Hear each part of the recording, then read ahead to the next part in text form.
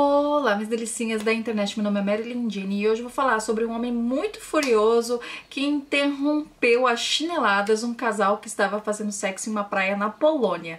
Ficou curioso para saber como vai ser este vídeo? Então, bora comigo que eu vou mostrar!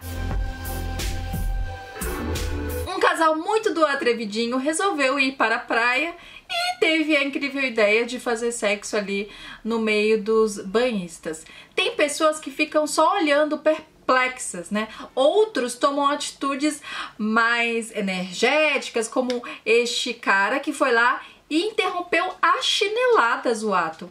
E é muito engraçado, quando eu li Quando eu li, eu comecei a rir, porque eu falei, nossa, eu não teria coragem, sabe, de pegar o chinelo e bater. Eu ia, tipo, chamar a polícia, porque, né, na praia, com criança, pessoa fazendo sexo. Tem muita gente que, depois da pandemia, é, foi para certos lugares públicos e meio que tá liberando aí toda a libido que ficou aprisionada. Mas, gente, tem lugares específicos para fazer o nheco-nheco, né? Vai pro motel, sei lá, vai pra um lugar... Né? Minha mãe falou que até ela dava uma chinelada. Eu não teria coragem de dar chinelada. Você teria coragem de dar chinelada? Fiquei abismada com um casal, assim, em plena luz do dia fazendo sexo.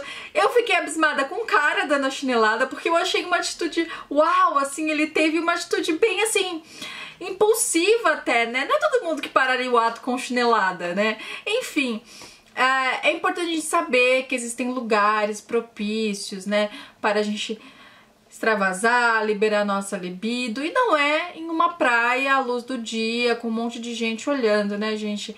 O cara, ele tava bebum, até ele saiu com as calças assim arriadas. É, a mulher não foi identificada porque depois eles procuraram, enfim, ela deve ter dado no pé, né?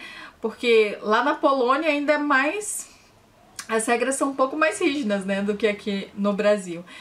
É, e eu trouxe essa matéria pra gente refletir, né? Eu acho que teve muita gente que ficou querendo ou não com seus instintos mais presos dentro de casa.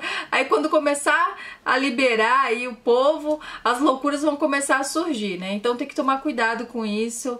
A gente tem que respeitar né, o espaço do outro, né? Até que ponto vale a pena você é, realizar uma fantasia, mas colocar o outro em uma situação deselegante, desagradável, porque ninguém é obrigado a ver aí todo o seu nheco-nheco ao vivo e a cores. Por favor, né? Vamos ter bom senso.